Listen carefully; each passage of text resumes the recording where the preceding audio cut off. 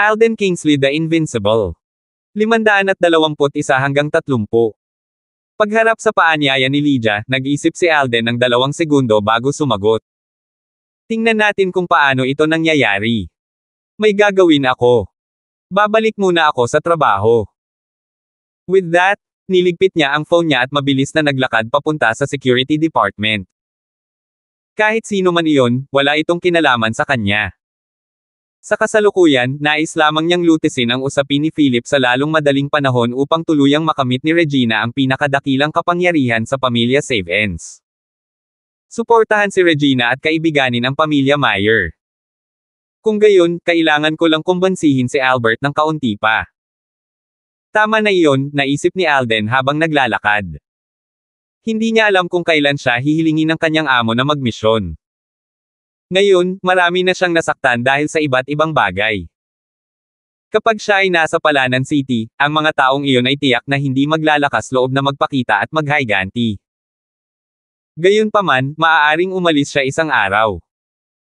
Kung ang mga taong iyon ay nagdamdam at naghiganti sa oras na iyon, tiyak na hindi siya makakatulong mula sa malayo.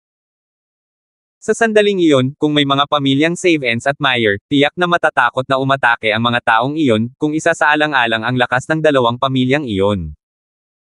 Gayunpaman, ang pagiging maayos sa dalawang pamilyang ito ay maaari lamang ituring na tulong sa labas. Ang pinakamahalagang bagay ay para sa kanila na maging mas malakas sa kanilang sarili. Kapag sumusuporta sa panlabas na tulong. Kailangan kong pagbutihin ang lakas ng pamilya ko para maprotektahan nila ang sarili nila pagdating ng panahon. Oo, pagkatapos malutas ang bagay na ito, dapat kong sanayin ng mabuti si George at ang iba pa. Panahon na para matuto sila ng boxing at paghinga. Pamamaraan kasama si tatay. Napaisip naman si Alden at mabilis na bumalik sa security department. Sa mga sandaling ito, natapos na sa pagpapatrolya ang ilan sa mga security guard sa security department at bumalik sa kanilang mga upuan upang uminom ng kape at makipagkwentuhan. Pagpasok pa lang ni Alden, sinalubong siya ni Wayne at sinabing, Thailand, saan ka nagpunta ng madaling araw? Ilang beses kang hinanap ni David ngayon. Bakit niya ako hinahanap? Tanong ni Alden. Tumingin si Wayne kay Alden at nag-alinlangan.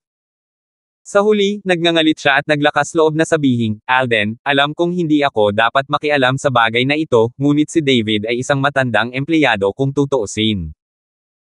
Baka naguguluhan siya na gusto niyang kunin ang mga gamit mo that time. Siguro ginawa niya iyon dahil may problema siya. Pero matagal ko nang nakasama si David. Hindi naman siguro siya masamang tao. Nakikiusap ako sayo. Maari mo ba siyang bigyan ng pagkakataong magbukas ng bagong dahon? Habang nagsasalita siya, tumingin siya kay Alden na nagmamakaawa. Tinuturuan mo ba ako kung paano gawin ang mga bagay? Tinitigan ni Alden si Wayne ng malamig na tingin. Nagbago ang ekspresyon ni Wayne habang nagmamadaling sumagot ng, I wouldn't dare. Kung hindi ka maglakas loob then mind your own business. Huwag ipasok ang ilong mo sa usapin ng ibang tao, malamig na sabi ni Alden. With that, nilampasan niya si Ware at pumasok sa kanyang opisina.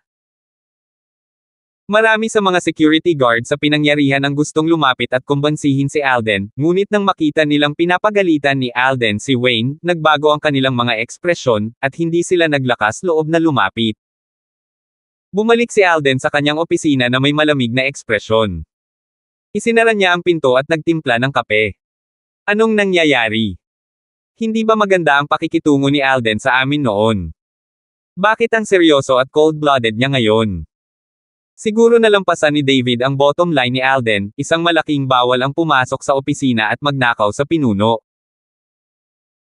Si David ang may kasalanan sa bagay na ito, ngunit medyo malupit at labis na hiniling ni Alden kay David na lumuhad sa publiko at pagsilbihan siya ng kape. Anong alam mo? Binibigyan ni Alden ng pagkakataon si David na magbukas ng bagong dahon. Hindi ko alam kung bakit, pero feeling ko, medyo hypocritical si Alden. Para bang nagpapanggap siyang mabait sa amin kanina. Ngayong napakalamig at walang puso niya kay David, hindi ba't kailangan pa nating lumuhad sa kanya kung magkakamali tayo sa hinaharap? Nang makita ang reaksyon ni Alden, nagkagulo ang lahat. Nagbago ang pagtingin ng maraming tao kay Alden. Hindi na ito ang paghanga at paggalang mula noon. Sa halip, may higit na pagkasuklam, panlalamig, at takot. Dati, naging mabuti sa kanila si Alden. Binigyan niya sila ng pera at sinanay sila. Bagamat nakakapagod, lahat sila ay nakinabang dito. Nagbago na rin ang kanilang pangangatawan. Mayroon silang magandang tibay at tibay. Pagbalik nila, purihin sila ng kanilang mga asawa sa pagiging dakila. Kaya naman, palagi silang nagpapasalamat kay Alden. Ngayong nakita nilang ganito ang pakikitungo ni Alden kay David at pilit na pinaluhod si David, medyo nadismaya silang lahat. Isang security guard na nagngangalang Rainer Zen ang nagtatago sa karamihan. Nang makita niya ang mga taong iyon na pinag-uusapan si Alden, isang mapang asar na tingin ang sumilay sa kanyang mga mata. Kinuha niya ang phone niya at nagkunwaring pinaglalaroan. Pagkatapos, nagpadala siya ng mensahe kay Philip. Ang plano ay matagumpay na naisakatuparan. Lahat ng mga kasamahan ko ay nagbago ng opinyon tungkol kay Alden. Nagkikimkim sila ng hinaing kay Alden ngayon. Hindi nagtagal, sumagot si Philip. Sabihin kay David na bumalik kaagad at isagawa ang plano ng pagkalason. Nakuha ko. Pagkatapos ay nagpadala ng mensahe ang security guard kay David. David, ikaw na ang magtanghal. Pagka-send ng message, niligpit niya ang phone niya at tumawa. Nakatingin siya ng masama sa direksyon ni Alden. Alden, how dare you go against Mr. Save Ends?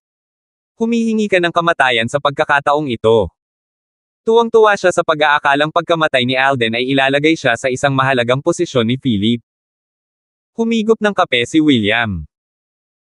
Ang kanyang ekspresyon ay kalmado habang sinasabi niya kay Wayne at sa iba, actually, dapat matagal mo nang naisip iyon. Mula noong sinaunang panahon, ang mga pinuno ay palaging pinuno.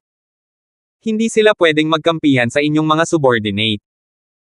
Bagaman junior at approachable si Alden, hindi ibig sabihin na hindi siya leader. Kung gusto niyang mapanatili ang kanyang dignidad bilang isang pinuno, tiyak na susupilan niya ang kanyang mga nasasakupan. Kayong lahat, itigil ang panghihikayat manood ka lang ng mabuti, at subukang huwag magkamali sa hinaharap. Kung hindi, haantong tayong lahat tulad ni David. Sa puntong ito, napatingin siya kay Alden sa opisina, puno ng inggit ang mga mata nito. Noong unang panahon, pinangarap niyang maging pinuno, gabayan ang buong departamento, at kontrolin ang maraming seguridad. Mga bantay. Para dito, patuloy siyang nagsusumikap, nagbibigay ng mga regalo, at gumaganap ng pinakamahusay na bahagi ng kanyang sarili. Gayunpaman, direktang lumitaw si Quinten nang wala saan, at nawalan siya ng pag-asa. Hindi naging madali para sa kanya ang magtiis hanggang sa itinaboy si Quinten. Ngunit pagkatapos ay lumitaw si Alden at inagaw ang pagkakataon. Ngayong nabuhay na siya sa kalahati ng kanyang buhay, sa wakas ay naiintindihan na niya. Pagdating sa pagiging pinuno, hindi ito nakadepende sa kakayahan kundi sa background ng isang tao. Ano ang pakiramdam ng maging pinuno? Gusto ko talagang maranasan, naisip ni William sa sarili. Habang nag-uusap ang lahat, lumitaw si David sa pintuan ng opisina at pumasok. David. Nagmamadaling umakyat si Wayne para salubungin siya, saka humingi ng tawad kay David. I'm sorry. Hindi ko makukumbansi si Alden. Mas mabuting umalis ka na agad. Bagamat mahalaga ang trabaho, mas mahalaga ang dignidad. Bahagyang tumango si David at sinabing, salamat. Gayunpaman, mas gugustuhin kong mawala ang aking dignidad tayan maging mahirap. Kung mawawalan tayo ng trabaho, magugutom ang buong pamilya natin. Pagkasabi noon ay nilampasan niya si Wayne at pumunta sa coffee making area sa security department. Gumawa siya ng isang baso ng kape at dinala kay Alden, saka lumuhod. Malakas niyang sinabi, Mr. Kingsley, nagkamali ako. Ayon sa iyo, humihingi ako ng paumanhin at naghahain sa iyo ng kape, nakikiusap ako sa iyo. Patawarin mo ako sa pagkakataong ito. Nang matapos siyang magsalita, lumabas si Alden at tumingin kay David. Anong ginawa mong mali? Hindi na sana ako pumasok para kunin ang mga gamit mo. Humihingi ako ng tawad, Mr. Kingsley. Magalang na itinaas ni David ang tasa ng kape. Humph, at least alam mo kung ano ang makakabuti sa iyo. Patawarin na kita sa pagkakataong ito. Malamig na sinulyapan ni Alden si David. Kinuha niya ang tasa ng kape at ininom ito sa isang lagok. Pagkatapos, malamig niyang sinabi, gayon pa man, kung may susunod pa, hindi kita papakawala ng madali. Si Rainer, nakatayo sa karamihan, ay near-record ang lahat gamit ang kanyang telepono, nang makita niyang ininom ni Alden ang nakal-alasong kape, lalo siyang natuwa at nagmamadaling ipinadala ang video na ito kay Philip. Mr. Save ends, ininom ni Alden ang may lason na kape. Mamamatay siya for sure. 522. Si Rainer ang taong itinanim ni Philip sa security department. Siya ang namamahala sa pagsubaybay sa bawat araw ni na David at Alden. Gumalaw. Ngayong nakita niya si David na naghahain ng kape ni Alden at iniinom naman ito ni Alden, paano niya ito mapapalampas? Siyempre, kailangan niyang kumuha ng litrato para mai-record ito. Alden, okay ka lang. Bulong ni David. Kahit alam niyang immune si Alden sa lahat ng lason, lason pa rin ito. Hindi pa rin siya mapakali. Ayos lang ako. Huwag kang mag-alala. Sige na sabi ni Alden sa mahinang boses. Nakahinga si David nang marinig iyon. Nagkunwari siyang heartbroken at sinabing, Mr. Kingsley, ikaw ang pinakamagnanimous, matalino, at makapangyarihang tao na nakita ko. Salamat, Mr. Kingsley. With that, lumuhad siya sa lupa at yumoko hanggang damyugo ang ulo niya. Malamig ang mga mata ni Alden. Wala siyang balak tulungang makatayo si David. Sa halip, sinabi niya sa lahat ng iba pang mga security guard, nakita mo ba iyon? Ito ang kinahinatnan ng paggawa ng mga pagkakamali. Kung sino man sa inyo ang maglakas loob na magkamali sa susunod. Ginagarantiya ko na mas masahol ka pa sa kanya. Narinig mo ba iyon? Nagkatinginan sina Wayne, William, at ang iba pa. Sa huli, natakot pa rin sila sa dignidad ni Alden at walang lakas ng loob na magsalita. Sige, bumangon ka na. Huwag mong ipahiya ang sarili mo dito. Magwala ka at magtrabaho ka. Sinaman ng tingin si David at hinayla siya mula sa lupa. Sinabi niya sa mahinang boses, pagkatapos ng kamatayan, tiyak na may mananagot sa iyo. Hindi ka pakawalan ni Philip, kaya umalis ka na. Habang nagsasalita siya, naglagay siya ng isang piraso ng papel sa kamay ni David at bamulong, umalis ka sa kumpanya at pumunta sa address na nasa papel. May susando sayo. Pagkasabi noon ay bigla niyang itinulak si David. Naintindihan naman ni David at tumango kay Alden. Nagpatuloy siya sa pagpapanggap at labis na nagpasalamat kay Alden. Okay, nakuha ko. Salamat, Ginoong Kingsley. Magpapatrol ako ngayon. Nang matapos siyang magsalita ay tumalikod na siya at tumakbo. Nang makita ito ni Rainer, bahagyang kumunat ang noo niya at naisip, paano tumakbo si David nang napakabilis. Hindi nagtagal, natauhan siya. Nilaso ni David si Alden. Hindi nagtagal ay namatay si Alden sa lason. Sa oras na iyon, tiyak na may tatawag ng pulis at huhulihin si David para tanungin. Sa gayong mga pagkakataon, natural na tumakbo si David sa abot ng kanyang makakaya. Sinusubukang tumakas. Humph, sa tingin mo ba ay magtagumpay ka? Tinitigan ni Rainer ang likod ni David, malamig ang mga mata. Sige, maghiwa-hiwalay na kayong lahat. Continue working, napatingin si Alden sa lahat. Si William, Wayne, at ang iba pa ay walang magawa kundi umalis. Sinamantala na rin ni Rainer ang pagkakataon na umalis at mabilis na tumakbo sa direksyon kung saan umalis si David. Habang tumatakbo siya, tinawag niya si Philip at nagsumbong. Nakatakas si David. Dapat ba natin siyang patayin ngayon? Ilabas mo muna siya sa Palanan City, pagkatapos ay mag-isip ng paraan para patayin siya. Huwag mo na siyang patagilan pa doon, malamig na sabi ni Philip. Nakuha ko, Tumango si Rainer at ibinaba ang telepono. Binilisan niya ang kanyang mga hakbang at hinabol si David. Habang tumatakbo, napabulalas siya, mukhang medyo may kakayahan si Alden. Ang mga breathing techniques na itinuro niya talaga. I've only trained it for a few days, pero ang bilis ko ay tumaas ng husto. Kahanga-hanga. Sayang na nasaktan niya si Mr. Savens at nakatadhana na magkaroon ng miserableng wakas. Sa pag-iisip nito, muli siyang bumilis at nawala kaagad.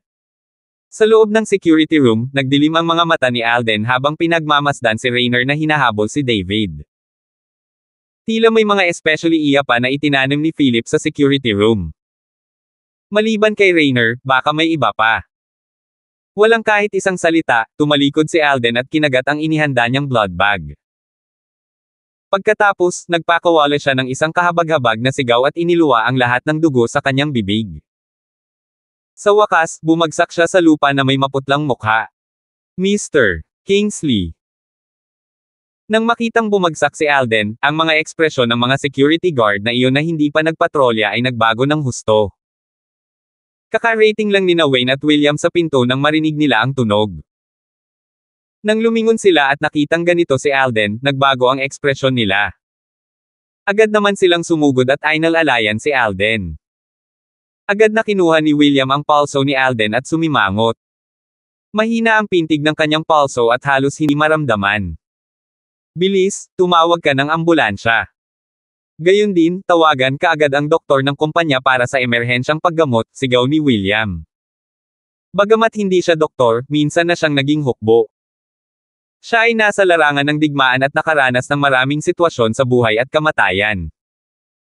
Nasabi niya kaagad na napakalubha ng kalagayan ni Alden. Bagamat hindi alam ni Wayne ang nangyari, nagbago agad ang ekspresyon ng mukha niya nang makita ang maputlang mukha at malamig na katawan ni Alden. Agad siyang tumayo at tumawag ng ambulansya.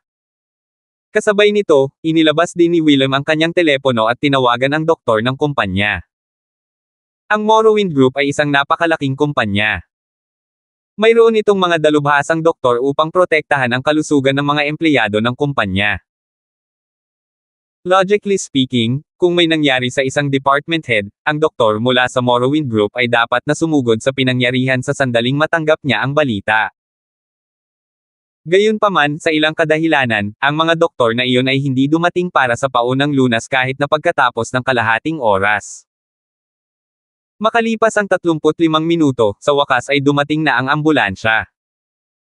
Dahil dito, nang dumating ang mga doktor at nurse, nalaman nilang tumigil na ang paghinga at pagpintig ng puso ni Alden. Matapos suriin ng doktor sa ambulansya ang katawan ni Alden, bumaantong hininga ito at sinabing, Patay na ang pasyente. Sa mga sandaling ito, nagmamadaling pumasok si Regina mula sa labas.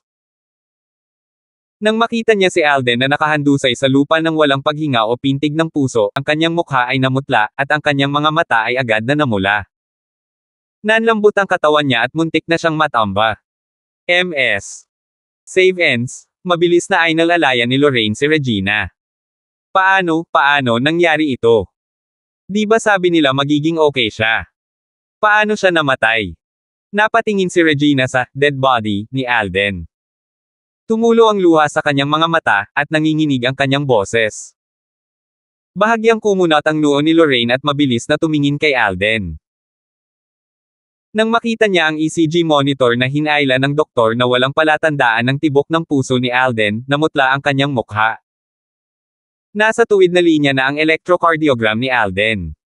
Patay na ba talaga siya? Pero hindi ba ngayon lang nakainom si Alden ng antidote? Napaisip si Lorraine. Alden. Agad namang sumugod si Alexander at sumandal sa dibdib ni Alden para pakinggan ang pintig ng puso nito. Pagkatapos ay inilagay niya ang kanyang daliri sa ilalim ng butas ng ilong ni Alden. Hindi niya narinig ang pintig ng puso ni Alden o naramdaman ang paghinga nito. Nang mapagtonto ito ni Alexander ay nagbago ang kanyang ekspresyon. Bumagsak siya sa lupa at bamulong, paano nangyari ito? Paano namatay si Alden? Imposible. Ito ay ganap na imposible. Alden, nagbibiro ka siguro no? Bilasan mo at bumangon ka. Sumigaw siya na parang nabaliw, pero walang kwenta. Nakahiga pa rin si Alden na hindi kumikibo. Kalmado ang mukha niya, parang patay na tao. Alden, paano? Paano mo ako naiwan? Namumula rin ang mga mata ni Regina habang sinusubo si Alden. Patuloy ang pag-agos ng kanyang mga luha sa kanyang mukha. Nadurod ang puso niya at humihikbi. Kabilang sa mga security guard na nanunood ng isang tinatawag na Leslie Benz ay lihim na kumuha ng video ng eksenang ito gamit ang kanyang telepono at ipinadala ito kay Philip. Mr. Save ends. Confirmed na patay na si Alden. 523. Patay na si Alden. Nakita ni Philip na may benda ang mukha, ang mensaheng ito sa loob ng opisina ng vice-presidente. Isang pahiwatig ng ecstasy ang sumilay sa kanyang mga mata, at nakaramdam siya ng sobrang saya na nakaganti na siya. Si Alden ay hindi nagbigay ng anumang mukha sa kanya noon at laban sa kanya kung saan-saan. Binugbog pa siya ni Alden sa harap ng lahat. Kinaiinisan niya si Alden mula sa kaibuturan ng kanyang puso. Nais niyang mamatay na agad si Alden. Ngayong sa wakas ay nakita na niya si Alden na bumagsak sa lupa, paanong hindi siya matutuwa. Tingnan mong mabuti ang eksena. Pupunta ako doon, sabi ni Philip. Sa puntong ito, agad niyang ibinaba ang telepono, nagmamadaling lumabas ng pinto, at mabilis na pumunta sa security room. Sa sandaling ito, ang silid ng seguridad ay napapaligiran ng maraming tao. Nakayakap si Regina sa katawan ni Alden at umiiyak na tumutulo ang kanyang mga luha. Master. Walang nakakaalam kung kailan dumating sina Lucas at Andrea. Lumuhad sila sa harap ni Alden at miyak ng umiyak. Sino ang pumatay sa Mr. Kingsley ko? WHO. Kayong mga lalaki, ipakita sa akin kaagad ang footage ng surveillance. Galit na sigaw ni Alexander. Hinawakan niya si Wayne at ang iba pa at idiniin sa computer. Pinilit niya si Wayne at ang iba pa na buksan ang security room na may mga surveillance camera. Nang makita ni Alexander na nilaso ni David ang kape na inalok niya kay Alden. Pagkatapos ay itinuro niya si David at nagtanong, sino ang bastard na ito? Ang kanyang pangalan ay David White. Saan siya nakatira? Hindi ko alam. Pagkatapos bigyan ng kape si Mr. Kingsley, tumakas siya. Saang paraan siya tumakbo? Silangan, timog silangan. Tiyak na nalason niya si Mr. Kingsley hanggang sa mamatay. Gusto ko siyang hanapin at gawing abo. Namumula ang mga mata ni Alexander habang umaatungal sa langit. Mabilis siyang lumabas na parang kidlat patungo sa direksyon kung saan umalis si David. Hindi nagtagal, nawala siya sa paningin ng lahat. Sa dami ng tao, nang makita ni Leslie si Philip, tinignan niya ito at itinuro si Alden sa lupa. Hindi naniniwala si Philip na patay na si Alden. Pumunta siya sa harap at sinuri ang pulso ni Alden. Humingi pa siya ng kumpirmasyon sa doktor sa emerhensya at sa doktor ng Morrowind Group at nakatanggap siya ng isang nagkakaisang conclusion. Patay na talaga si Alden. Ang doktor ng Morrowind Group, si Dr. Matthew, ay binigyan ng masamang tingin si Philip. Nasa side silang lahat ni Philip. Nang humingi ng tulong sina Wayne at William, sinadya nilang ipagpaliban ang kanilang pagdating. Ang layunin nila ay magantala hanggang mamatay si Alden sa lason. Matapos ang konklusyong ito ni Philip, labis siyang natuwa. Patay na si Alden. Kung ganoon, ang mga taong itinanam niya sa paligid ni Regina ay magkakaroon ng pagkakataon na magplano laban sa kanya ng madali. Sa board meeting bukas, nangako siyang hihilahin si Regina pababa sa pedestal. Mr. Kingsley, paano, paano ka namatay? Please gumising ka na. Sigaw ni Regina sa kanyang puso. Hindi niya napigilan ang kanyang mga luha. Ang puso ni Philip ay namumulaklak sa tuwa nang maabot niya ang puntong ito, na nagnanais na agad niyang buksan ang isang bote ng champagne upang magdiwang. Gayunpaman, pinananatili niya ang isang kalmadong kilo sa ibabaw at nagsalita sa isang malalim na boses. Doktor, sigurado ka ba? Paano namatay si Mr. Kingsley? Ayon sa aking maraming taon ng klinikal na karanasan, namatay siya sa pagkalason, sabi ni Dr. Matthew. Paano siya nalason? Nagpatuloy si Philip sa paglalaro. Tumayo si Leslie at sinabing, MS. Save ends, ngayon ko lang nasaksihan ng sarili kong mga mata. Binigyan ni David si Mr. Kingsley ng isang tasa ng kape. Si Mr. Kingsley matapos itong inumin, tumalsik ng dugo at bumagsak sa lupa. Tiyak na gawa ito ni David White. Ilabas ang order. Isama mo si David White. Galit na bulalas ni Philip. Pagkatanggap ng order. Agad namang lumabas si Leslie at ang iba pa. Sinulyapan ni Philip ang lahat ng naruroon at sinabi. Wala bang tumawag ng pulis? Nagkatinginan sina Wayne, William, at ang iba at tuluyang umiling. Parehong nandoon sina Regina at Philip. Nang walang pag-aproba ng dalawang CEO na ito, walang nang ahas na tumawag ng pulis. Sabi ni Philip malalim na boses, mas maganda kung walang tatawag ng pulis. Aayusin natin ito sa loob.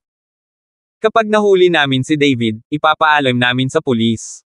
Huwag ay alarma ang media. Bukas ang board meeting.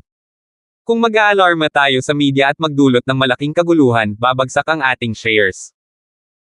Ang mga kahihinatnan ay hindi maiisip.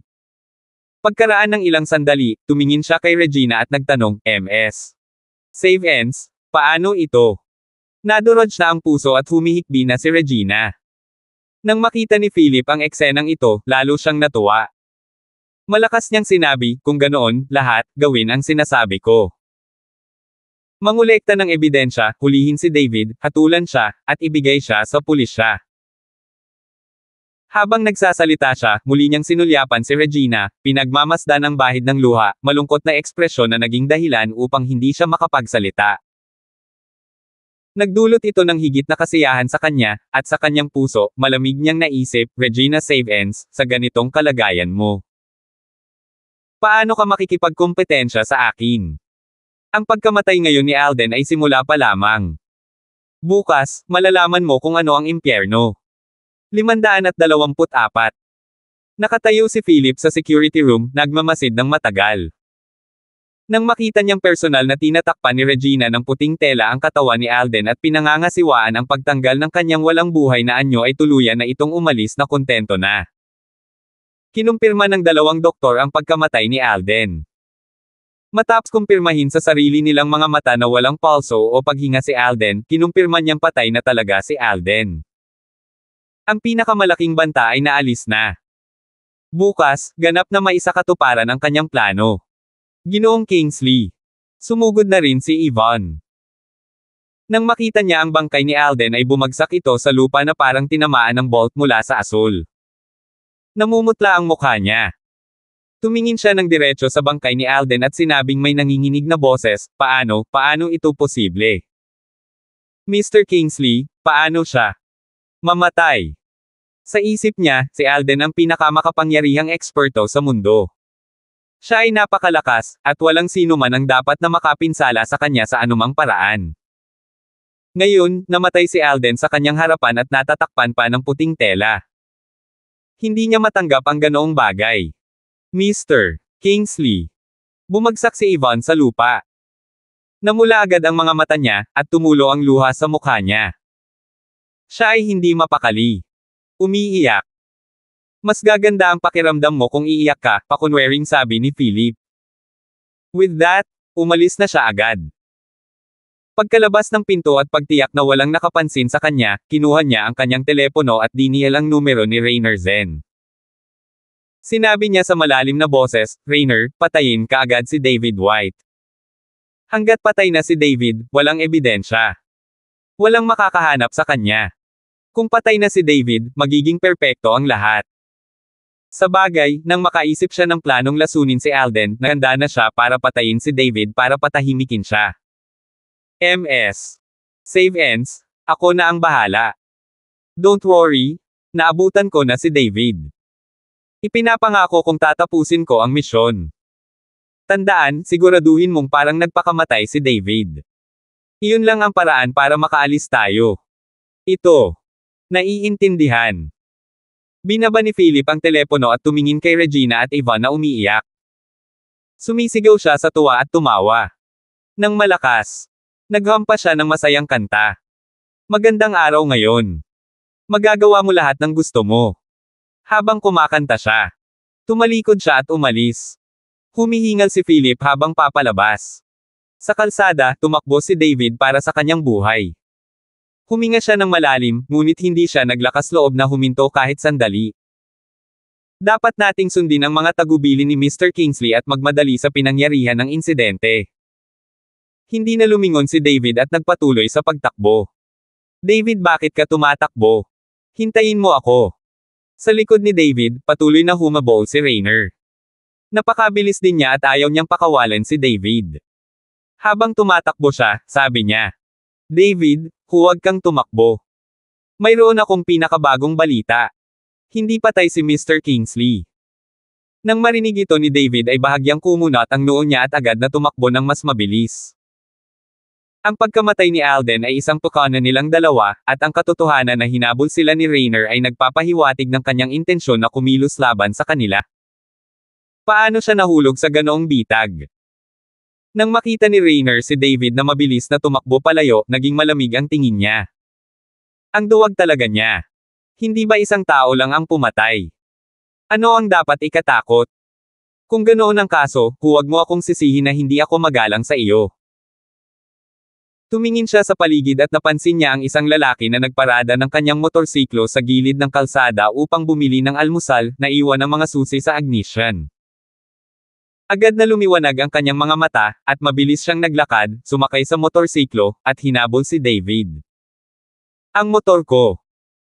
Agad namang nagiba ang ekspresyon ng lalaking driver nang matapos siyang bumili ng almusal, at dali-dali siyang humabol pagkatapos nila. Sa kasamaang palad, hindi niya naabutan ang lahat. Mahigit anim na raang talampakan na ang layo ni Rainer sa kanya habang nakasakay sa motorsiklo. Umugang ng malakas ang motorsiklo. Hinigpitin ni Rainer ang pagkakahawak sa accelerator at pinatay ito. Ang motorsiklo ay parang kidlat ng tumama ito kay David na tumatakbo sa kanyang harapan. Kung titignan, parang papatay na siya. 525. David, ikaw ang sumuwi sa akin. Huwag mo akong sisihin na hindi ako mabait.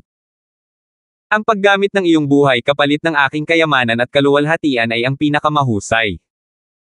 Napatitig si Rainer sa likuran ni David. Malamig at mamamatay tao ang kanyang tingin. Hindi lamang ipinangako ni Philip sa kanya ang isang mataas na posisyon, ngunit binigyan din siya ng isang halaga ng pera bilang isang deposito. Ang deposito lamang ay 200,000 dolyar. Kung nagawa niyang patayin si David, bibigyan siya ni Philip ng isa pang 400,000 dolyar. Ang halaga ng pera na ito ay sapat na para sa isang regular na tao na tulad niya upang makipagsapalaran at pumatay ng isang tao. Si David ay tumatakbo ng husto para sa kanyang buhay. Nang marinig niya ang tunog ng makina ng motorsiklo ay nagbago ang ekspresyon niya at agad siyang lumingon.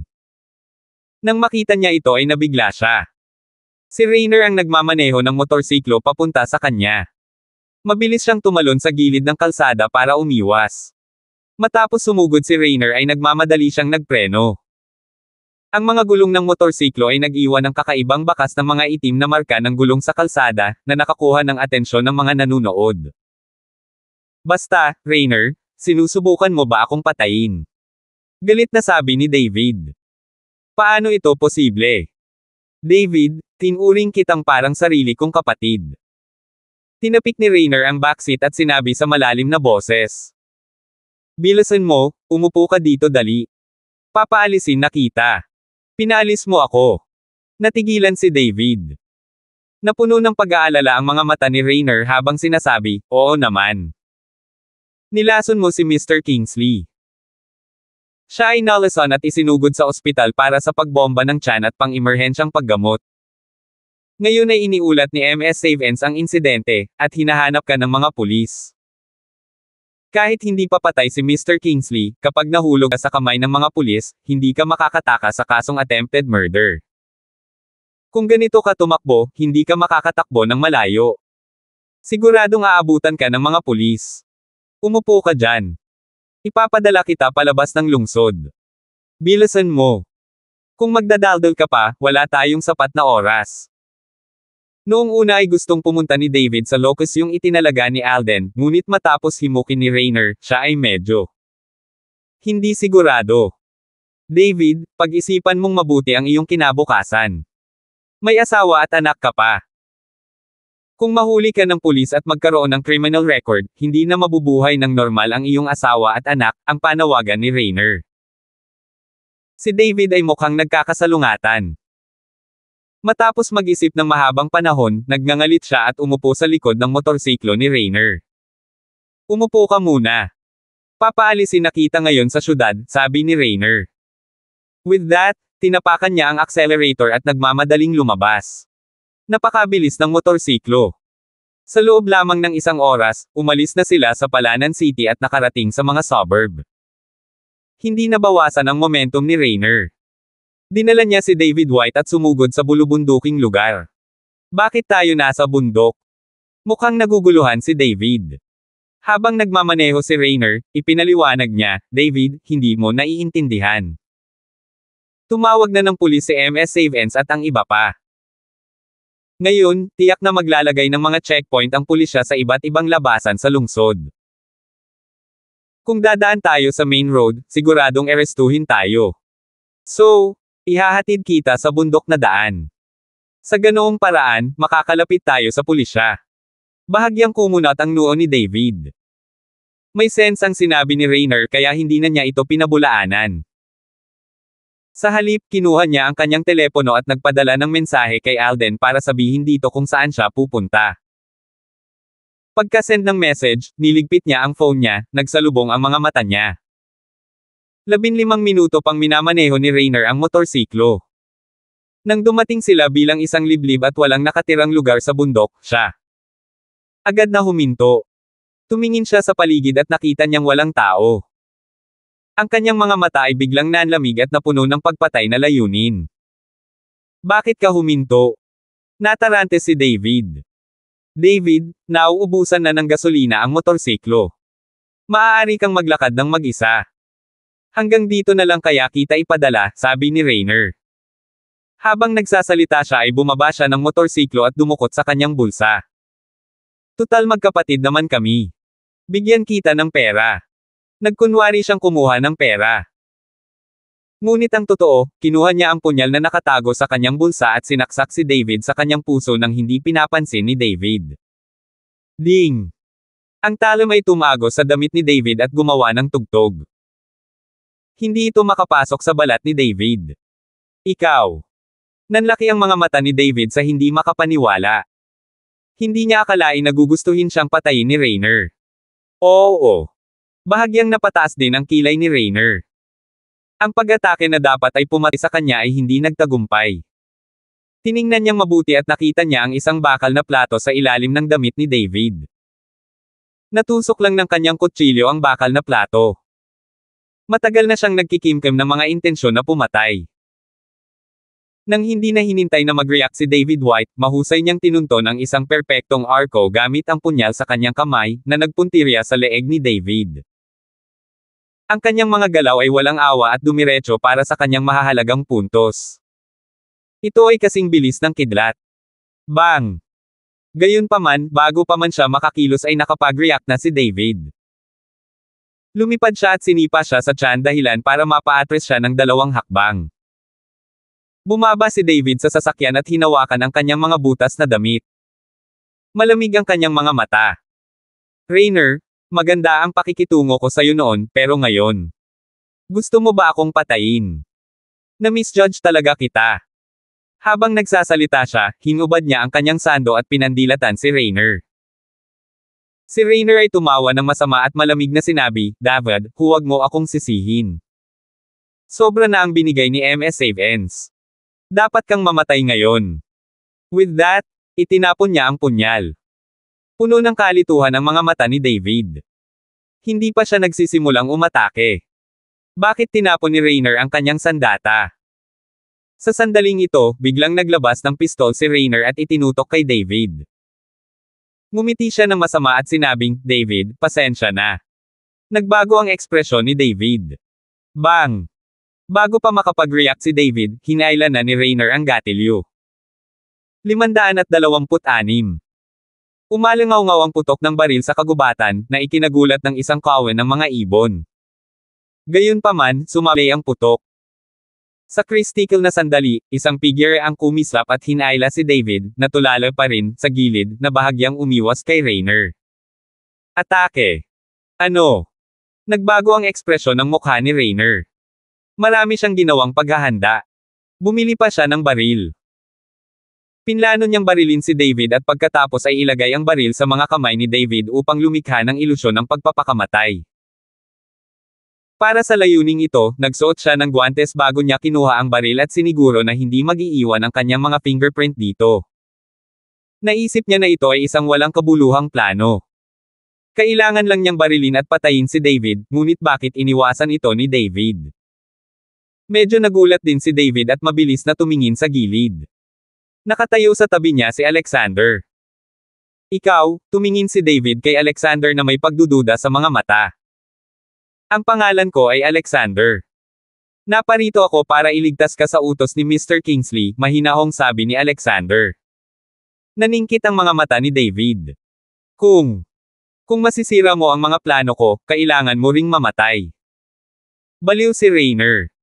Itinaas niya ang kanyang baril at itinutok kay Alexander, hinaila ang gatilyo sa lugar. Ang pagpatay ng isang tao ay pagpatay, ngunit ang pagpatay ng dalawang tao ay itinuturing din na pagpatay. Sa anumang kaso, papatayin niya silang lahat. Dang! Walang ekspresyon si Alexander. Inilabas niya ang kutsilyo sa kamay at pinutol ang bala sa kalahati. Ano? Nang makita ni Rainer ang eksenang ito, nanlaki ang mga mata niya sa hindi makapanwala. Paano naging posible na hatiin ang isang bala sa kalahati gamit ang isang kutsilyo? Hindi ba ito masyadong kakaiba? Pagsusulat ng mga nobela. Bastard, maswerte lang siya. Swerte naman. Hindi ako naniniwala na mayroon kang swerte sa lahat ng pagkakataon. Kinagat ni Rainer ang kanyang mga ngipin. Hindi siya naniniwala na may ganoong tao sa mundong ito. Itinutok niya ang pistol kay Alexander at hinaila ang gatilyo ng limang beses na magkasunod. Klang, klang, klang, klang. Limang beses naglasla si Alexander at nahati ang limang bala. Siya at si David ay hindi nasaktan. Nilumpasan sila ng mga basag na bala na nagbuta sa mga puno sa likuran nila. Ito, napatulala si Rainer. Ang paggamit ng kutsilyo sa paghiwa ng bala minsan ay maituturing na swerte. Gayunpaman, pagkatapos ng pagharang nito ng limang beses na sunod-sunod, hindi ito swerte, ngunit lakas. Ang gayong lakas ay sadyang napakapangit. Tapos na ba ang iyong pag-atake? Malamig ang tingin ni Alexander habang nakatitig kay Rainer. Ilang segundong tinitigan ni Rainer si Alexander, puno ng takot at pangamba ang mga mata nito. Walang sabi-sabi, agad siyang sumakay sa motorsiklo, pinaandar ang makina ng Tadamax, at mabilis na tumakas. Masyadong makapangyarihan si Alexander. Kaya niyang putulin ang bala sa kalahati. Masyadong tyrannical ang kanyang lakas. Hindi niya kayang talunin siya. Kung hindi siya umalis ngayon, hindi maiisip ang kahihinatnan. Hindi natin siya hahayaang makatakas. May nagtuturo sa kanya. Kunin mo siya. Nagmamadaling sinabi ni David. Nandito si Rainer para patayin siya. Hindi na niya kailangang isipin para malaman na si Rainer ang nasa likod ni Philip o ng iba. Hanggat nahuli niya si Rainer ay isa ito sa mga trumpo na magpapabagsak kay Philip. Huwag kang mag-alala, hindi siya makakatakas. Walang ekspresyon ang mukha ni Alexander nang bigla itong naglaslas. Ang kutsilyo ay kasing bilis ng kidlat. Nahati nito ang lupa sa isang hukay at nalaslas sa dalawa ang mga gulong ng motorsiklo ni Rainer. Dahil sa mga sirang gulong, hindi na nakausad ang motorsiklo. Ang malakas na pagkawalang kilos ay agad na nagpalipad kay Rainer sa malayo. Matapos bumagsak ang kanyang mukha, gamulong siya sa lupa ng halos 25 talampakan bago napahiga sa lupa. Natakpan ang mukha niya. Sa dugo, at ang kanyang buong katawan ay sumasakit na parang nalaglag. Blade Beam. Dilat na dilat ang mga mata ni David. Laking gulat niya kaya napaawang ang bibig niya. Puno ng hindi makapaniwala ang mukha niya. Blade Beam na umaabot ng 130 feet. Nakita lang niya ito sa mga nobela at palabas sa telebisyon. Hindi niya inaasahan na makikita ito sa realidad. Kahanga-hanga, tama ba? Pagmamalaki ni Alexander. Kahanga-hanga.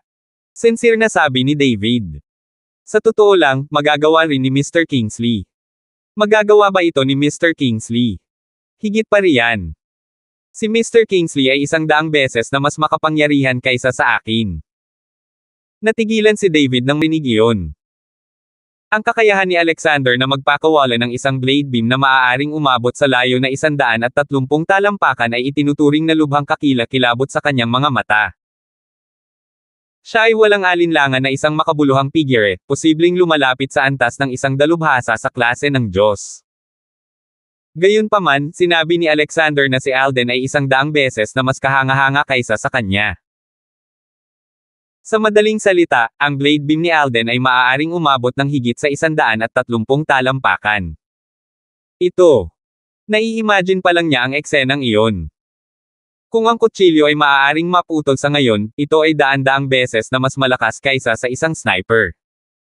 Huwag na tayong mag-usap. Hulihin muna natin ang taong ito. Ngumiti si Alexander at nawala sa harap ni David. Sa sumunod na segundo ay parang multo siyang nagpakita sa harapan ni Rainer. Sa sandaling ito, malabo na ang mukha ni Rainer mula sa pagkahulog. Ang kanyang mukha ay puno ng dugo, at ang kanyang mga tainga, ulo, at katawan ay malubhang nabugbog at tumutulo ng dugo. Tumingin siya kay Alexander na may takot sa mga mata. Ikaw, tao ka ba o multo? Ako ay isang Diyos. Napatingin si Alexander kay Rainer, sobrang lamig ng boses. Pagkasabi noon ay sinipa niya si Rainer na walang malay. Yumuko si Alexander na parang may dalang patay na aso. Itinaas niya si Rainer gamit ang isang kamay at tumingin kay David.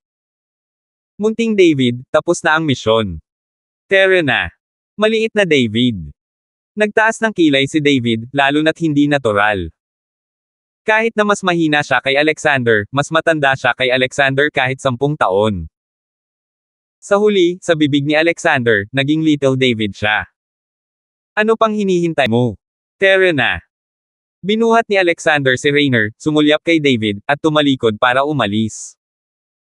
Bagamat medyo hindi komportable si David, hindi siya kumibo at mabilis na sumunod. Kahit na sinamantala siya ni Alexander sa salita, nailigtas niya ang kanyang buhay. Sapat na ang kabaitang ito para maalala niya habang buhay. Binuhat ni Alexander si Rainer at kinuha ang phone sa bulsa. Inabot niya ito kay David at sinabing, hindi ko rin alam kung sino si Philip. Gawin mo ang gusto mong gawin.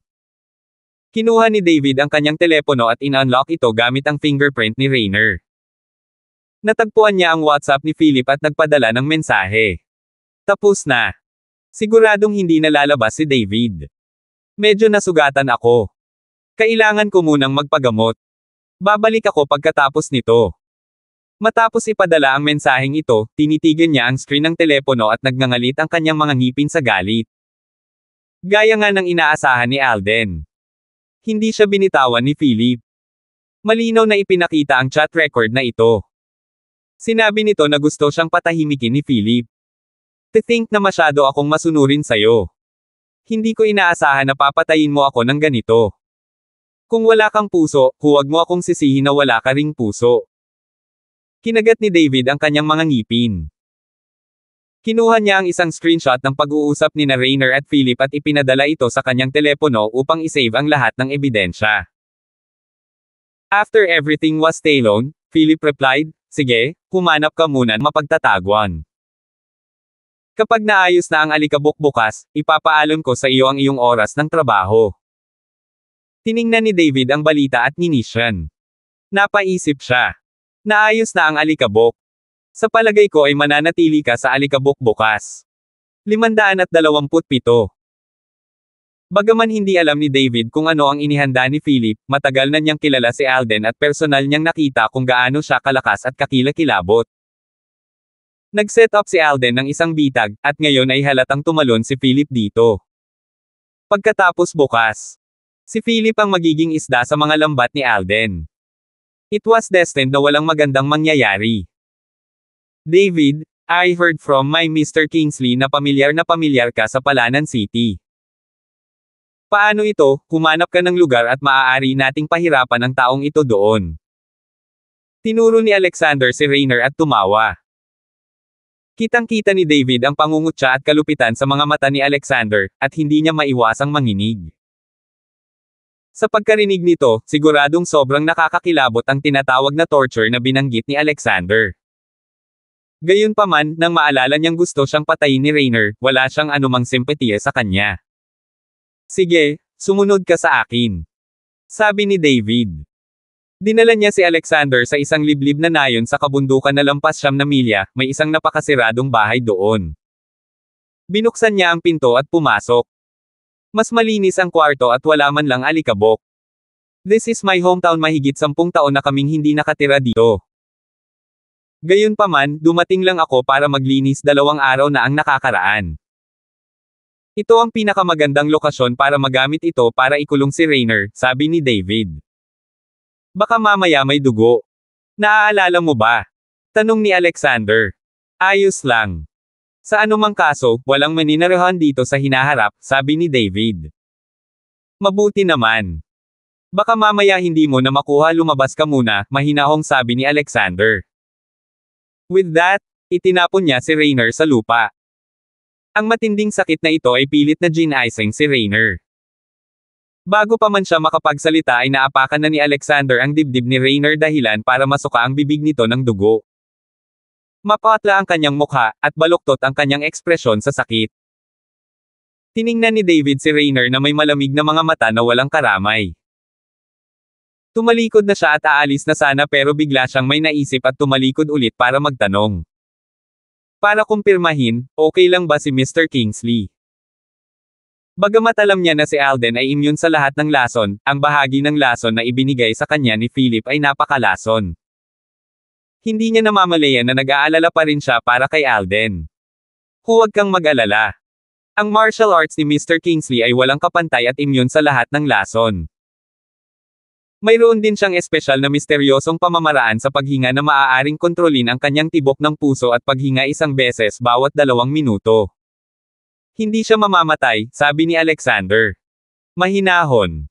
Teknik sa paghinga. Nang marinig ito ni David, napuno ng gulat ang kanyang mga mata. Naghinala siya na mali ang kanyang narinig. Hindi ba ang ganitong uri ng martial arts ay isang bagay na umiiral lamang sa mga nobelang martial arts? Mukhang nakita ni Alexander ang iniisip ni David. Mahinahon niyang sabi. Ang mundong ito ay mas malawak kaysa sa iyong iniisip. Ang ilang mga tao ay mas malakas kaysa sa nakasulat sa mga nobela. Natulala na naman si David. Mas malakas kaysa sa mga nakasulat sa mga nobela. Sa sandaling ito, naalala niya na naglaslas si Alexander ng 130 feet beam gamit ang kanyang saber. Masyadong nakakatakot ang pamamaraang ito. Para siyang nag-walkout sa isang fantasy novel. Mas malupit pa siya kaysa kay Superman. Paano na? Nagulat ka ba? Ngumisi si Alexander. Kumuha siya ng sigarilyo at sinindihan. Inilagay niya ito sa kanyang bibig at mahinahong sinabi, naninirahan ka lamang sa pinakamapayapang bansa. Hindi ka pa nakaranas ng mga digmaan, pag-agos ng hayop, mga sakuna ng daga, at iba pa. Kung nakatira ka sa extraterritorial battlefield, malalaman mo na maraming nakakatakot na eksperto sa mundong ito na napakalakas na kaya nilang masuffocate ang mga tao.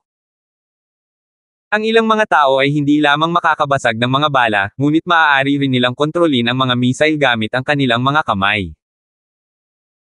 Nakakita pa ako ng isang misteryosong eksperto na lumipad sa kalangitan ng walang tulong ng anumang kagamitang pang-teknolohiya at pinutol ang isang fighter jet gamit ang isang slash.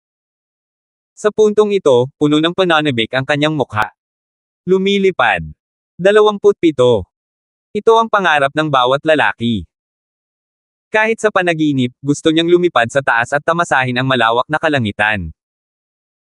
Sa kasamaang palad, ang kanyang lakas ay hindi nagpapahintulot sa kanya na gawin ang ganoong bagay. Ibig mong sabihin. Lumilipad sa hangin. Lalong nabigla si David. Paano lumipad ang mga tao sa himpapawid? Iyon ay isang Diyos, tama ba? Nang makita ang kalagayan ni David White, mas lalo pang napangiti si Alexander, na bumuga ng usok. Sinabi niya, syempre, sa loob ng aking organisasyon, mayroong dalawang pambihirang eksperto na may kakayahang lumipad sa himpapawid. Gayunpaman, ang mga taong ito ay nakatayo na sa tuktok ng martial arts. Hindi sila isang taong maaari nating kontekan.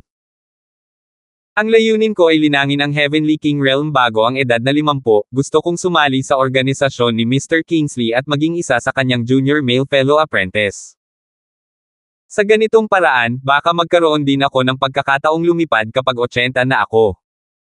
Sa puntong ito, puno ng pananabik ang kanyang mukha. Nang marinig ito ni David, ang kanyang ekspresyon ay labis ding nabigla. May mga taong kayang lumipad sa himpapawid. Seryoso ka? Nahihirapan siyang lumunok ng laway at nagtanong, Alexander, nasaan ang extraterritorial battlefield na binanggit mo? Lalo siyang na-curious sa katagang ito. Ito ay dahil ayon sa kanyang pagkaunawa sa mundong ito, maraming bansa sa buong mundo ang bihirang makaranas ng digmaan. Ilang bansa lamang sa gitnang silangan ang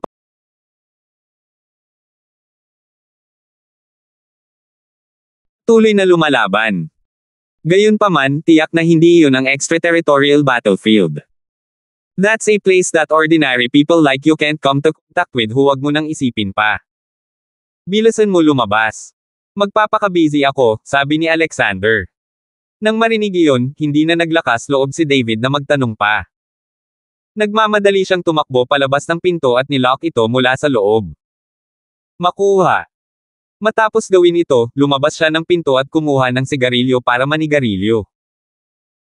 Habang tinutulungan si Alexander na magbantay, nagpadala siya ng mensahe sa kanyang asawa at mga anak para tanungin sila kung kumusta na sila.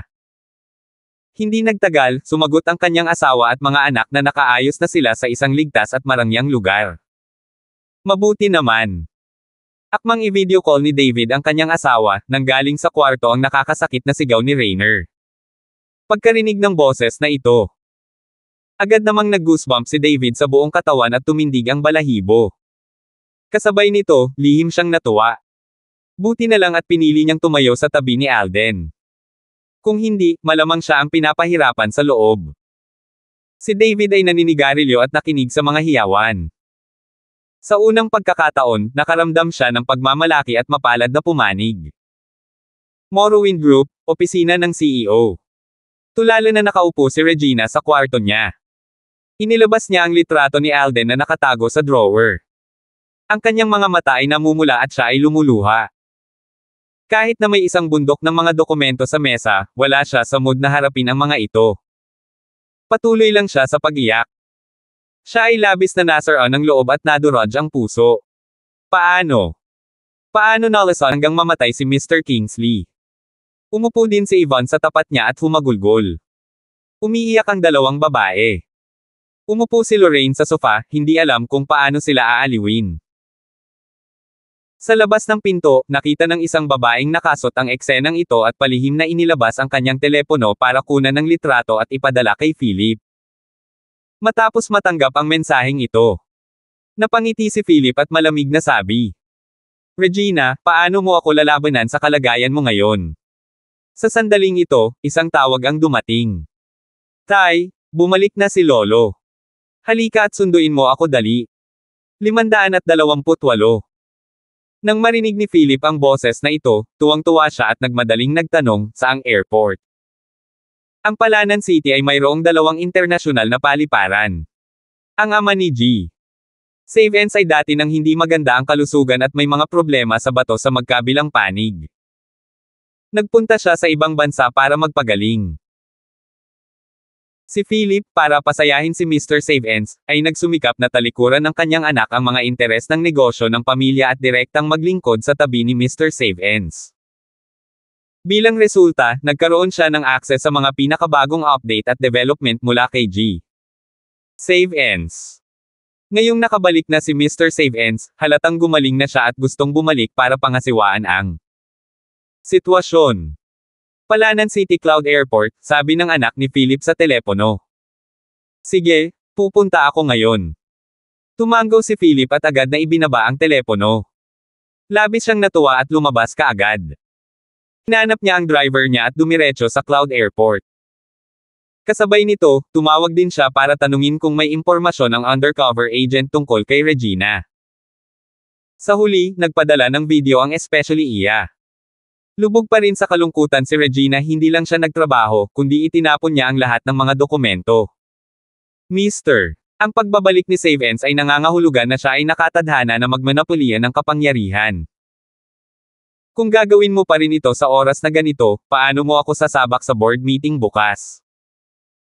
Napangisi si Philip nang makita ang estado ni Regina. Tinago niya ang kanyang telepono at hinimok ang driver. Bilasan mo. Hanggat sinundo niya si Mr. Save Ends ng isang hakbang ng mas maaga, ang tagumpay ay nasa kanyang kamay. Cloud Airport, lumabas. Isang matandang lalaki, malapit na sa edad na 80, ang nakatayo sa labasan na nakasuot ng tradisyonal na suit. Siya ay lumitaw na masigla at masigla, na may kitang-kitang noo at matalas, namumuno ng mga mata na nagpapakita ng isang kakilakilabot na presensya kahit na hindi siya galit. Halatang big shot ang matandang ito na may mataas na posisyon. Nakatayo sa tabi niya ang isang gwapo, matangkad, at matipunong binata na mga tatlumpong taong gulang. Puno ng lakas ang mga mata ng binata at may kahangahangang anyo. Maliwanag, hindi siya isang ordinaryong tao. Ang taong ito ay ang lolo ni Regina, si Wilbur Saveens. Nakatayo sa tabi ni Wilbur Saveens ang anak ni Philip, si Ethan Saveens. Anong pamilyar na kapaligiran? Anong pamilyar lugar? Tumingin si Wilbur sa malayo at tumingin sa matataas na gusali sa lungsod. Napuno siya ng emosyon.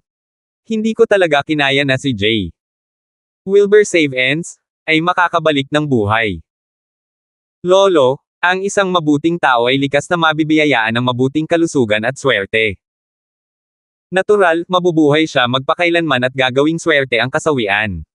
Napangiti si Ethan. I love listening to you talk, nakangiting sabi ni Wilbur kay Ethan na may paghanga sa mga mata. Noong nasa ibang bansa siya, umasa siya kay Ethan para alagaan at samahan siya. Asahan. Lubos niyang pinahahalagahan ang apo na ito at palagi niyang itinuro sa kanya ang lahat ng nalalaman niya. Ibinigay niya ang lahat ng kanyang martial arts kay Ethan. Si Ethan ay nagtataglay din ng mahusay na talento at determinasyon. Masigasig niyang natutunan ang iba't ibang mga kasanayan, kahit na hindi pa siya isang dalubhasa sa pangkalahatan. Gayunpaman, ito ay isang sandali lamang bago siya naging isa, dahil siya ay nasa bingit ng maabot ang antas ng isang pangkalahatang klase na eksperto. Lahat ito ay salamat sa mabuting pag-aalaga ni Lolo. Sabi ni Ethan. Hahal. Tumawa ng malakas si Wilbur at tuwang-tuwa. Pagkatapos, tumingin siya sa direksyon ng Morrowind Group at sinabing, nagtataka ako kung ano ang naging korporasyon sa ilalim ng pamamahala ng iyong kapatid na babae. Upang sabihin sa iyo ang totoo, inaasahan kong makilala ang iyong kapatid na babae ngayon at makinig sa kanyang ulat tungkol sa sitwasyon. Sa pagkakaalam ko, triple ang stocks natin sa Morrowind Group. Naniniwala ako na ang iyong Rousen ay isang mahusay na pinuno. Habang nagsasalita siya, puno ng pag-asa ang kanyang mga mata. Siglit lang na namamahala si Regina sa korporasyon, pero triple na ang shares ng kumpanya. Alam niyang hindi niya makakamit ang ganoong tagumpay, ngunit nagawa ito ni Regina. Nangangahulugan ito na hindi siya nagkamali sa paghusga noon. Nang marinig ito ni Ethan, isang malamig na tingin ang sumilay sa kanyang mga mata, ngunit nanatili siyang kalmado sa ibabaw. Ngumiti siya at sinabing, matalino at matalino si Lolo. Genius din si ate. Kasama kayong dalawa. Ang pamilya Savens ay tumatangkad. Yan ang hinahangaan ko sa iyo. Hindi mo ipinaglalaban, sabi ni Wilbur. Isang malaking karangalan para sa akin na makapaglingkod kay Lolo sa natitirang bahagi ng aking buhay, sabi ni Ethan. Tahimik na ngumiti si Wilbur at hindi nag-contime sa pagsasalita. Sa sandaling ito, isang Rolls Royce ang dumaan. Bumaba si Philip sa sasakyan at lumapit sa kanya para salubungin siya ng magalang. Dad, bakit hindi mo sinabi sa akin na nakabalik ka na? Pwede sana akong pumunta sa airport para sunduin ka ng maaga. Habang nagsasalita siya, tinulungan niya si Mr. Saveens na buhatin ang kanyang bagahe. Hindi mo pa ba alam? Napangiti si Wilbur. Maya-maya, umupo na silang tatlo sa Rolls Royce. Tito Chris, uwi na tayo, sabi ni Philip sa driver. Huwag ka nang bumalik pansamantala. Gusto kong mamasyal sa Ocean Sands, sabi ni Wilbur. Biglang naintindihan ni Philip. Hindi makapaghintay si Mr. Saveens na makita ang eksena ng Heavenly King Steve Sky na iginawad sa titulong hari. Mabilis niyang sinabi, Tito Chris, punta tayo sa Ocean Sands. Nang marinig ito ng driver na si Uncle Chris ay agad niyang pinaandar ang sasakyan at pinaandar ito sa direksyon ng Ocean Sands. Tiningnan ni Wilbur ang paligid sa bintana at bumantong hininga. Nagpunta lang ako sa ibang bansa for a short period. Hindi ko inaasahan na magiging ganito kalaki ang mga pagbabago. Philip, salamat sa pagtulong mo kay Regina noong wala ako sa bansa. Ang kaunlaran ng pamilya Save Ends ay lahat salamat sa iyo, papuri ni Wilbur. Lahat ito ay salamat kay Regina. Maraming bagay ang ginawa ni Regina mag-isa. Limitado ang tulong ko, sabi ni Philip. Masyado kang humble. Kahit na si Regina ay napakahusay at may proteksyon at tulong ni Brandon, siya ay babae pa rin kung tutuusin. Kung wala ang tulong mo, paano niya triplehin ang presyo ng share ng kumpanya natin? Napangiti si Wilbur. Napangiti si Philip nang walang sabi-sabi. Sa katotohanan, ang pag-akyat sa presyo ng stock ng Morrowind Group ay walang kinalaman sa kanya. Si Regina ang gumamit ng sinaunang lunas na natuklasan ni na Ivan at Alden upang manipulahin at ayusin sa likod ng mga eksena. Dahil din dito kaya kumita ng malaki ang mga shareholder ng Morrowind Group. Si Wilbur ay nagpapagaling sa ibang bansa. Mas mabuti kung hindi niya alam ang sitwasyon. Kaya maaari niyang matanggap ang kredito ng masyadong tahimik.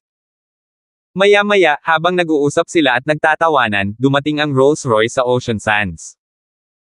Dito, isang mataas na plataporma ang bumangon mula sa lupa at tumaas sa mga ulap. Ito ay kahanga-hanga at maganda. Ito ay ang King Title Conferring Platform ni Steve Sky. Ito ay nasa yugto pa ng pagtatapos. Sa plataporma ng hari bilang sentro, ang lugar sa loob ng radius na 1.2 milya ay kinulong upang pigilan ang mga ordinaryong tao na makapasok. Gayunpaman, kahit na magkahiwalay pa sila ng 1.2 milya, ramdam pa rin nila ang napakagandang enerhiya sa platform ng hari. Ang King's Tower, na umaabot sa matayog na taas na 2.880 talampakan, ay nalampasan ng Palanan City Tower ng 656 na talampakan. Binubuo ito ng 33 makalangit na antas, na nagpapahiwatig na ito ang pinakamataas na pribilehiyo sa Palanan City. Tumingin si Wilbur sa plataporma ng hari at bumantong hininga. Gaano kabuti kung ako ang umakyat sa gayong plataporma at tumanggap ng trono. Ay silang lobo sa bahay. Ito ang pangarap ng bawat lalaki. Bagamat napakayaman ni Wilbur, hindi ito nangangahulugan na mayroon siyang kapangyarihan. Kahit na ang isang tao ay umabot sa antas ng isang pangkalahatang uri na dalubhasa sa pamamagitan ng paglilinang at nagtataglay ng napakalaking kayamanan, lahat ng ito ay walang kabuluhan kung walang kapangyarihang pampulitika. Sa isang salita mula sa mga nakatataas, lahat ng kanilang mga industriya ay maaaring ilipat sa iba. Nais niyang maging mas mataas kahit sa kanyang mga pangarap. Minsan na niyang gustong sumali sa hukbo at gumawa ng pangalan para sa kanyang sarili sa extraterritorial battlefield. Gusto niyang magsikap na magsuot ng dilaw na damit balang araw. Gayunpaman, nang marating niya ang extraterritorial battlefield, tigilan siya sa mismong lugar. Ang lugar na iyon ay parang impyerno sa lupa, isang hilingen ng karne sa lupa. Ang mga kasama na nakikipag-chat at tumatawa sa iyo kanina ay direktang pinatay ng kalaban sa susunod na segundo. Hindi mabilang na buhay ang kinukuha bawat segundo. Ang mga bangkay ay nakatambak na parang bundok, at ang dugo ay umaagos na parang ilog. Nakita pa niya ang maalamat na dalubhasa na maaaring lumipad sa langit at lumubog sa lupa. Sa pamamagitan ng isang slash ng kanyang espada, maaari niyang basagin ang fighter jet sa hangin at ma-intercept pa ang missile gamit ang sword beam. Siya ay takot na takot at desperado. Matapos mabuhay, ginamit niya ang kanyang mga koneksyon para suhulan ang controller ng extraterritorial battlefield kinabukasan. Tumakas siya sa larangan ng digmaan at bumalik sa Palanan City upang magsimula ng negosyo. Dahil din sa isang araw siyang lumaban sa extraterritorial battlefield kaya nasugatan ang kanyang mga bato. Siya ay umaasa sa dialysis treatment sa loob ng maraming taon at hindi magamot. Pagkatapos lamang niyang pumunta sa ibang bansa nitong mga nakaraang taon ay gumaling siya. Ngayong nakita na niya ang mataas na plataporma at naisip niya kung paano tatanggapin ni Kylan General ang titulong hari dito sa King Conferring Ceremony, na tinatanaw ang mundo at namumuno sa tatlong rehiyon sa timog, nakaramdam siya ng inggit mula sa ibaba ng kanyang puso. Magagawa niyang tumayo sa tuktok ng bundok at makita kung gaano kaliit ang mga bundok. Nais din niyang maranasan ang pakiramdam ng mababang pagtingin sa lahat may buhay. Gusto ko rin. Si Philip at ang kanyang anak na si Ethan ay tumingin sa matayog at nakamamanghang King's platform. Nagliwanag ang kanilang mga mata at puno ng pag-asa. Gayunpaman, alam din nila na hindi nila maaaring magkaroon ng gayong mga tagumpay sa kanilang buhay.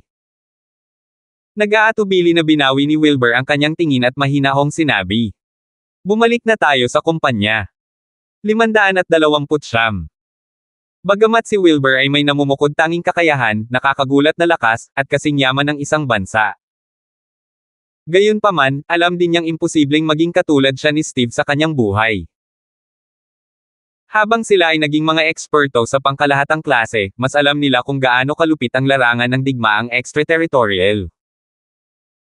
Nagawa ni Steve na patayin ang lahat sa extraterritorial na larangan ng digmaan ng madali, lumikha ng magagandang tagumpay at pagpapalawak ng kanyang teritoryo.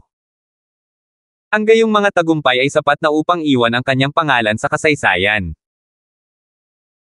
Maliban sa board meeting ng pamilya, ang pinakamahalagang bagay para sa kanya na makabalik sa bansa sa pagkakataong ito ay ang makalahok sa king conferring ceremony at makita ng sarili niyang mga mata ang kaluwalhatian ng isang heavenly king. Sa makatuwid, ang pinakamahalagang bagay ngayon ay upang makita kung paano umuunlad ang kumpanya at nagsusumikap na makakuha ng imbitasyon na lumahok sa king conferring ceremony. Nagkatinginan sina Philip at Ethan at nakita ang masama sa mga mata ng isa't isa. Agad silang tumalikod at sumakay sa sasakyan para samahan si Wilbur pabalik ng kumpanya.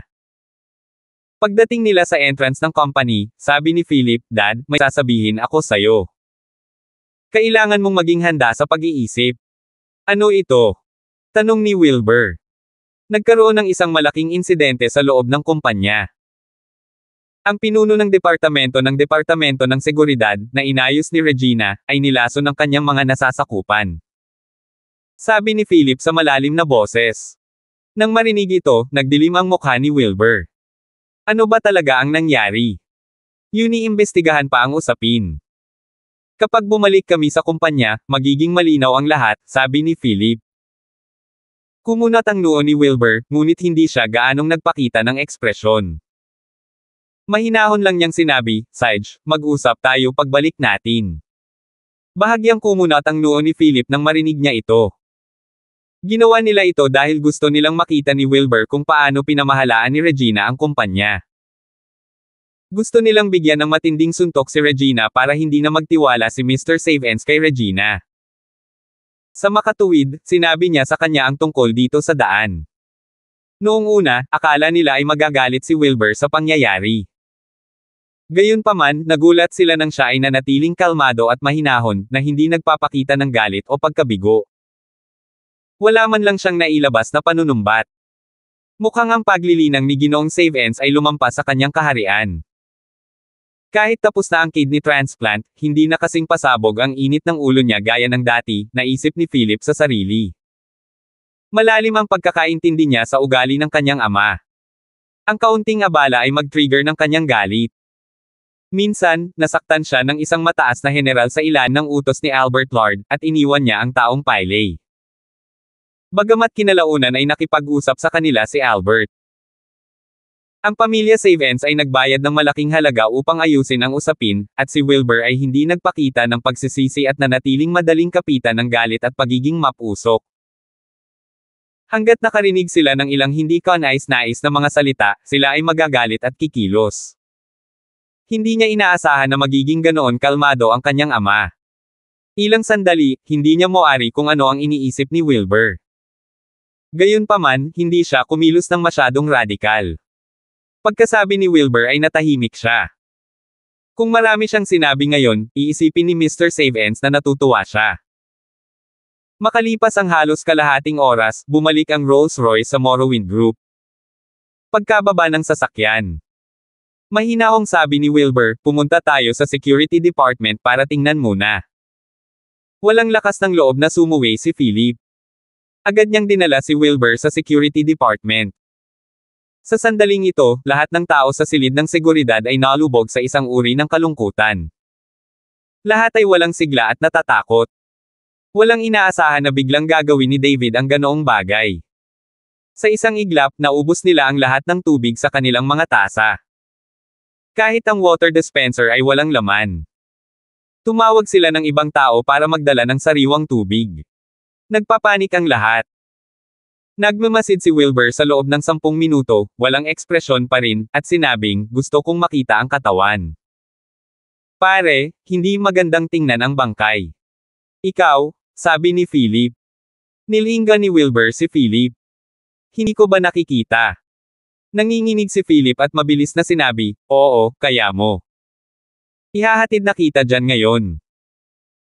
Bagamat hindi malamig o matalim ang titig ni Wilbur, mayroon itong napaka-espesyal na dignidad kaya hindi siya nang ahas na sumaway. Walang magawa, naihatid na lang niya si Philip sa morgue kung saan naroon si Alden. Sila ay isang napaka-profesional na grupo ng parmasyutiko na may lahat ng uri ng mga pasilidad. Ang morgue kung saan inimbak ang mga bangkay ay mas advanced din kaysa sa inorg ng ospital. Dito nakaimbak ang katawan ni Alden at hindi pa naalis. Pumasok si Wilbur, itinaas ang puting tela, at tiningnan ang kalagayan ng katawan ni Alden. Pagkatapos ng isang seryosong inspection, nagtanong siya, inabisuhan mo ba ang pamilya ng namatay? Umiling si Philip at sinabing, bukas ang board meeting. Nag-aalala ako na ang bagay na ito ay gagamitin ng kabilang partido at magdulot ng malaking kaguluhan. Makakaapekto ito sa interes ng kumpanya. Kaya naman, pinigilan ko ang usapin at binalak na ipaalam sa pamilya ng namatay pagkatapos ng board meeting bukas. Nang marinig iyon ni Wilbur, mahinahon niyang sinabi, sige, nahawakan mo ng maayos. Nasaan si Regina? Bakit hindi ko siya nakitang lumabas? Siguro siya ay nasa opisina pagharap sa kanyang sariling mga bagay, sabi ni Philip. Tingnan natin. Si Wilbur ang unang lumabas ng morgue at naglakad palabas. Tumingin sina Philip at Ethan sa bangkay ni Alden bago umalis. Tay, sigurado ka bang patay na ang taong ito? Tanong ni Ethan. Sinulyapan ni Philip si Alden, pagkatapos ay si Wilbur na naglalakad sa harapan. Inabot niya at nagsulat ng isang linya ng mga salita sa likod ni Ethan. Ako ang nakahanap ng lason. Ang isang patak ng gamot ay maaaring lason ng isang elepante. Tama na para patayin si Alden. Pagkatapos magsulat, sinabi niya sa malalim na boses, hindi ito isang bagay na dapat mong alalahanin. Dapat mong alalahanin kung paano gumagana ang kumpanya. Yes, Dad, you're right, kunwaring tinuturuan ng leksyon si Ethan. Maya-maya ay dumating na silang tatlo sa pintuan ng opisina ni Regina. Mahigpit na isinara ang pinto. Gayunpaman, makikita mula sa salamin na pinto na umiiyak si Regina. Pinatawag ni Philip ang sekretarya ni Regina na si Lily at tinanong, ano ang sitwasyon ni MS Save Ends. Tumingin si Lily kay Regina at nag-alinlangan. Kung may sasabihin ka, sabihin mo lang. Huwag kang matakot. Walang sisisi sa iyo, sabi ni Wilbur. Pagkatapos makakuha ng permiso, inipon ni Lily ang kanyang lakas ng loob at sinabing, simula noong pumanaw si Mr. Kingsley. Si MS Save Ends ay nasa isang estado ng pag-abandona sa sarili. Dalawang oras na siyang diretsong umiiyak at hindi man lang makapag-focus sa trabaho niya. Dahil dito, ang aming kumpanya ay nawala ng isang napakahalagang kliyente. Anong klaseng negosyo ang dadalhin ng kliyente sa kumpanya? Tanong ni Ethan. Itinaas ni Lily ang dalawang daliri ng 20 milyong dolyar. Nang marinig ito, nagdilim ang mukha ni Wilbur. 530.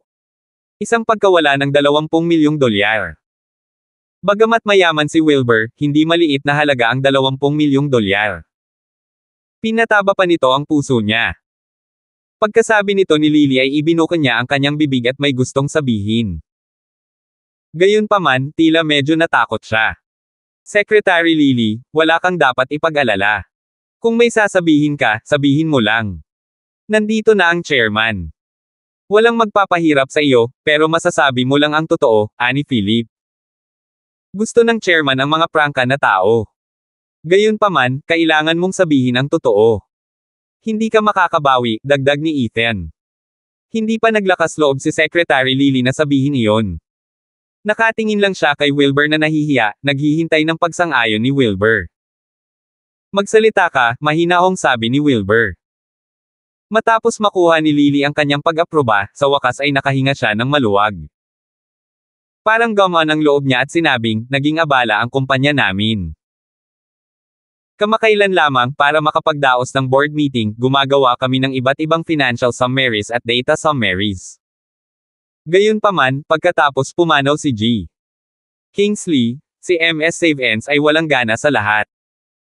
Hindi pa nagtagal, gusto ng Deity Pharmaceutical Group na makipagtulungan sa aming kumpanya sa isang malaking proyekto. Gayunpaman, si MS Save Ends ay nalubog sa kalungkutan at direktang tinanggihan sila. Tinawag pa niya ang mga tao mula sa Deity Pharmaceutical Group para mawala at huwag siyang abalahin. At, ang daming sinabi ni Lily sa isang hininga. Sa kabuuan, sinabi niya na nabigo si Regina sa critical na sandali at naging sanhi ng pagkawala ng milyon-milyong dolyar ng kumpanya. Habang nagsasalita siya, mas naging madilim ang ekspresyon ni Wilbur. Sige, tumigil ka na sa pagsasalita. Pakunwering kinurot ni Philip na sinenyasan si Secretary Lily na tumigil na sa pagsasalita. Hayaan mo siyang magsalita. Sabi ni Wilbur sa malalim na boses. Dad, Kadalasan napaka-outstanding ni Ray sa trabaho. This time, it's mainly because she is affected by such a big incident kaya nawalan siya ng composure, paliwanag ni Philip. Tama, Lolo. Si Ray ay palaging namumukod tangi sa pamamahala ng kumpanya. Kahit ako hindi ko may kumpara sa kanya. Baka may malalim na relasyon sa kanya ang namatay this time kaya siya nagkaganito, sabi ni Ethan. Parehong mapagkunwari ang mag-ama. Ang kanilang mga salita ay puno ng mga dahilan para kay Regina. Ito ay isang paraan ng pag-urong upang umaban. Ay po Kristo sila dahil gusto nilang bigyan ng magandang imahe si Mr. Save Ends. Nais nilang ipahayag na nakatutok lamang sila sa kumpanya at ayaw mang-agaw ng kapangyarihan o kung ano paman. Agad na nakuha ni Wilbur ang pangunahing impormasyon. Ibig mong sabihin, may kakaibang relasyon si Ray at ang namatay na si Alden. Oo, sa pagkakaalam ko, ilang beses niligtas ni Mr. Kingsley ang buhay ni MS Save Ends. Sa panahong ito, nakikita si MS Save Ends na madalas nakasama ni Mr. Kingsley. Sabi ni Secretary Lily. Sinasabi mo bang matagal ng nine love si MS Save Ends kay Mr. Kingsley? Tanong ni Philip. Umiling si Secretary Lily at sinabing, hindi rin ako sigurado. Gayunpaman, noong naglilinis ako sa opisina ni MS Save Ends ay nakita ko dati ang mga larawan ni Mr. Kingsley sa drawer ni MS Save Ends. Nagkatinginan sina Wilbur, Philip, at Ethan. Pare, mukhang kinikilig talaga si Ray. No wonder na wala ang composure niya ng ganito, sabi ni Philip. Isang mahabang buntong hininga ang pinakawala ni Ethan at sinabing, nako, napakalungkot ng buhay ni Ray. Maagang pumanaw ang kanyang ina, nawawala ang kanyang ama, at ang kanyang nakababatang kapatid ay may malubhang karamdaman. Siya ay nag-iisa, walang anumang suporta o kasama. Hindi naging madali para sa kanya ang umibig sa isang lalaki, at ang lalaking iyon ay nilason hanggang mamatay ng kanyang mga nasasakupan. Sumasakit ang puso ko sa kanya. Pagkasabi nito ay nagkunwari siyang nag-aalala habang nakatingin kay Regina sa kwarto. Bahagyang kumunat ang noo ni Wilbur at sinabing, kung ganoon, pikalmayan mo muna siya. Philip, ayusin kaagad ang iyong mga tao at iulat sa akin ang sitwasyon ng kumpanya. With that, naglakad siya patungo sa opisina ni Philip. Tuwang-tuwa si Philip. Ang chairman ay palaging nakikinig sa ulat ng pananalapi ng CEO at ang buod ng kumpanya sa loob ng halos isang taon. Ngayon si Wilbur ay nagtanong sa kanya na magulat, ito ay malinaw na siya ay tinatrato siya bilang CEO. Mabilis niyang tinipon ang kanyang mga tauhan at hiniling sa departamento ng pananalapi na dalhin ang lahat ng ledger. Dad, sigurado ka. Bulong ni Ethan. Ang mga pahayag sa pananalapi ay karaniwang magagamit lamang sa CEO. Vice-presidente lang si Philip. Paano niya may hahanda ang ganoong bagay? Huwag kang mag-alala. Ang iyong ama ay isang strategist. Lagi siyang may plano sa isip. Paanong wala siyang plano? Napangiti si Philip. Sunod niyang isinara ang pinto at kurtina ng opisina niya at kinuha ang projector namin. Ipinakita niya sa dingding ang lahat ng uri ng ulat sa kanyang computer at ipinaliwanag kay Wilbur ang iba't ibang operasyon, kita, at pagkalugi ng kumpanya nitong mga nakaraang taon. Sa panahon ng ulat, siya ay patas at makatarungan. Kinilala niya ang kanyang mga nagawa noong kanya ang mga ito, at kinilala niya ang mga kontribusyon ni Regina bilang kanyang sarili, hindi kailanman naghahangad na kunin ang kredito para sa mga nagawa ng iba. Ito ay dahil kilalang kilala niya ang kanyang ama. Alam niya na kinasusuklaman ni Wilbur ang mga taong kinuha ang kredito ng iba para sa kanilang sarili. Kaya naman, nang magulat siya, ginawa niya ito ng patas. Tiningnan ni Wilbur ang ulat at matamang nakinig. Paulit-ulit siyang tumango. Philip, maganda ang ginawa ninyo ni Ray nitong mga taon. Matapos matagumpay na maiharap ni Philip ang kanyang ulat, tumangala siya sa kanya at nag-isip sandali bago nagtanong, kung gayon, saang direksyon dapat pagtuunan ng pansin ng kumpanya para sa pag-unlad sa hinaharap. Nagliwanag ang ekspresyon ni Philip, at sumagot siya, dapat nating pag-aralan ng mas malalim ang pharmaceutical market, ituloy ang paalang na pagpapalawak, at pag-iba-ibahin ang kumpanya. Habang pinapanatili ang aming presensya sa pharmaceutical market at paggalugad ng mga bagong pagkakataon sa loob nito, dapat nating aktibong ituloy ang mga karagdagang posibilidad. Tulad ng Halimbawa, mga pelikula, pamumuhunan, pananalapi, at iba pa. Ito ay isang magandang ideya. Tumango si Wilbur at sinabing, malaking suntok ang naranasan ni Ray. Hindi siya dapat makapag-adjust sa maikling panahon. Balak kong bigyan siya ng oras para makapagpahinga. Paano ito? Maghuhas ka at mag-uulat sa pulong ng mga shareholder bukas. Magiging maayos ba iyon? Walang problema, walang problema. Nagmamadaling sabi ni Philip. Tuwang-tuwa siya. Sige, humanda ka para mag-host ng meeting bukas. Tandaan ang pinakamahalagang bagay. Dapat kang makakuha ng imbitasyon para lumahok sa king conferring ceremony. May dala pa ako kaya aalis muna ako. Inilagay ni Wilbur. Ibinaba ang ulat sa kanyang kamay at tumayo para umalis. Pagkaalis ni Wilbur, tuwang-tuwa si Ethan. Natawa siya at sinabing, Dad, congratulations. Pagkatapos bukas, baka ikaw na ang CEO ng kumpanya. Huwag kang maingay. Hindi pa naayos ang alikabok. Humalaklak si Philip. Wala nang malakas na katulong si Regina gaya ni Alden. Ngayon, nalubog na siya sa kalungkutan. Marami sa kanyang mga tao ang nasuhulan mo at sinamantala mo. Ano ang magagamit niya para ipaglaban ka? Ngumiti si Ethan at sinabing, noong ay nasa pinakamahirap na panahon, sinamantala namin ang sitwasyon.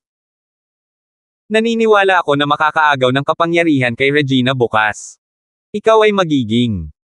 Sa pag-iisip nito, labis siyang nasasabik.